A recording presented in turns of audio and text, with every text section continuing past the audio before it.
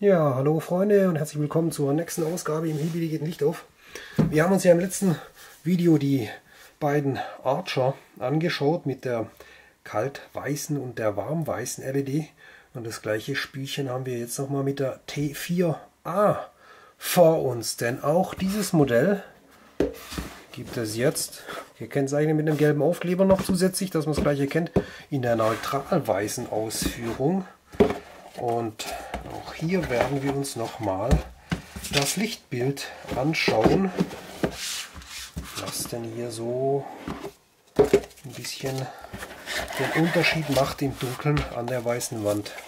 Das Zubehör ist unverändert, Lanyard, weiterer Druckknopf, ein bisschen äh, Papierkram. Und hier haben wir jetzt eine XML 2 U2 3C Ausführung. Interessant, weil meistens waren die U2 ja die kaltweißen und die warmweißen dann die T6, aber wir haben ja eine XML 2 U2 3C.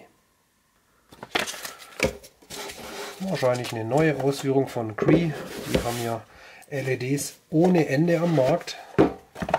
Wie sieht es hier in hier haben wir die XPL V6 als Kaltlicht LED. So. Hat sich an den Taschen was geändert? Nein. Nach wie vor identisch. So, ich hatte die ja schon wieder original verpackt. Die werden uns ja alle mal in einem Giveaway verlassen. So, bis dahin werden wir die heute jetzt noch ein bisschen ausprobieren. So, erkennt man denn überhaupt was vorne an der LED?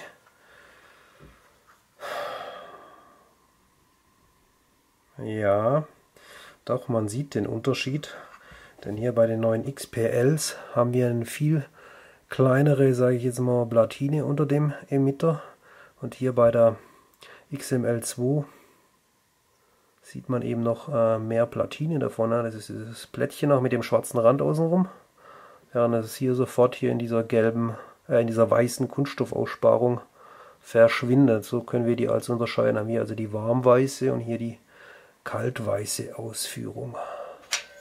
Schöne kompakte Lampen sind das ja. Und für alle Freunde von Doppel-A-Batterien, ne? welche sagen, ich brauche jetzt hier kein extra Ladegerät und auch keine großen teuren 18650er Akkus. Das hier könnt ihr mit normalen Eneloop Akkus bestücken. Da habe ich jetzt aber leider nicht acht Stück davon. Darum nehme ich jetzt hier einfach mal normale Duracell Batterien. Und da laden wir jetzt erstmal hier dieses Magazin diese Revolver-Trommel hier mit vier Doppel-A Batterien. Ganz schön starke Federn hier drin. Wie rum man die reinmacht, ist egal. Diese Trommeln hier sind dann verpolungssicher. Hier haben wir die kaltweiße Ausführung. Eine sehr angenehme Taschenlampe von der Bedienung her. Ne? Aufmachen, vier Batterien rein, sind verpolungssichere Container, zack, wieder zuschrauben, fertig, anschalten und los geht's. Ne? Also keine irgendwelche aufwendigen Clicky-Geschichten mit mehreren Knöpfen oder sonst was. Schön massiv verarbeitete Batteriemagazin hier.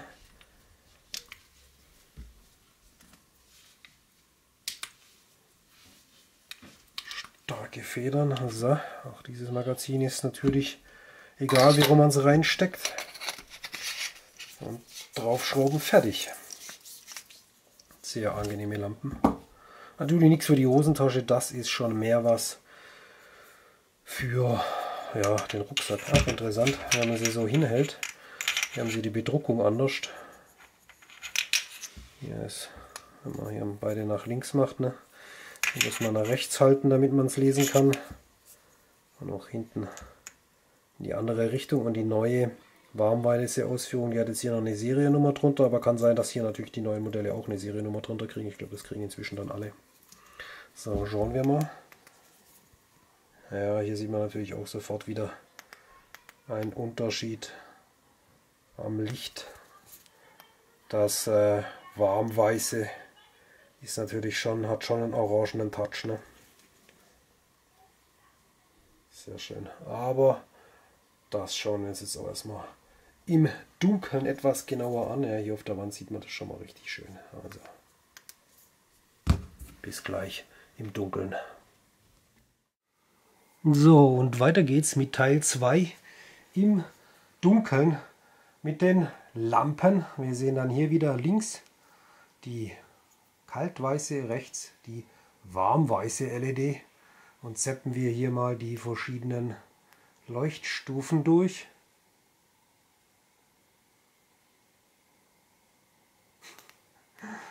Bringen wir sie mal auf die gleichen Stufen. So, beides die schwachen. So, einmal hier mehr, einmal hier.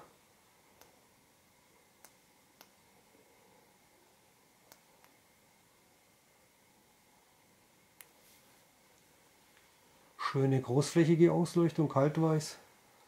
Hier warmweiß. Geht auch hier schon leicht ins Orange über. Ne?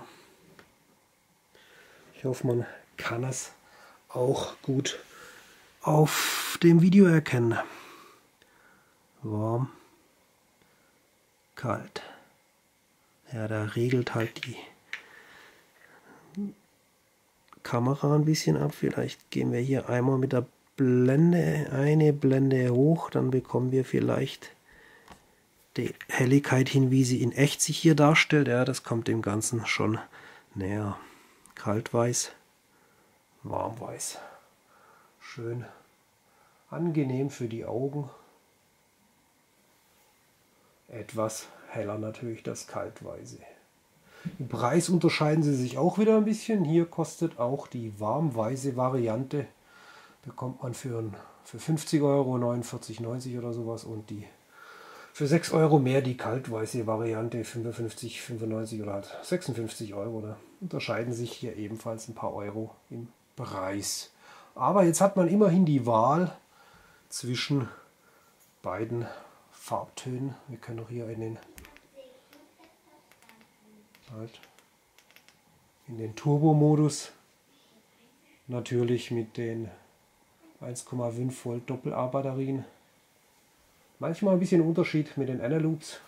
Die haben zwar nur 1,2 Volt, aber die halten natürlich irgendwie viel länger durch. Verwende ich eigentlich meistens nur die Analoops in sämtlichen Geräten mit Doppel-A.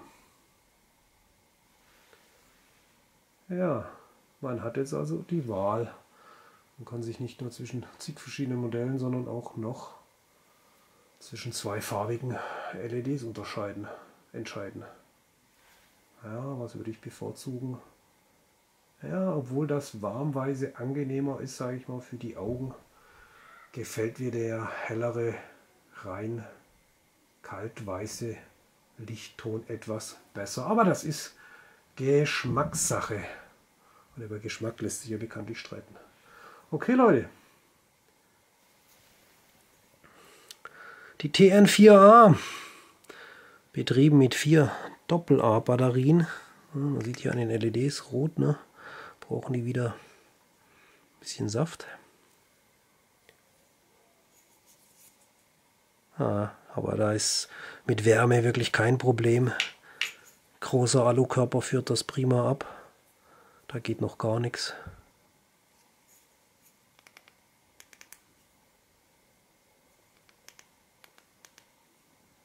Danke fürs Reinzeppen, bewerten, kommentieren. Wir sehen uns hier bald wieder auf dem Kanal, wenn es was Neues gibt über Taschenmesser oder Taschenlampen. Ne? Und wer auf der Suche ist nach einer starken Lampe mit guter Ausleuchtung, der sollte sich mal hier die TN4A anschauen. Die kann man nämlich mit vier handelsüblichen Doppel-A-Batterien betreiben. Und das ist mit Sicherheit für einige interessant. Okay Leute, bye bye, macht's gut.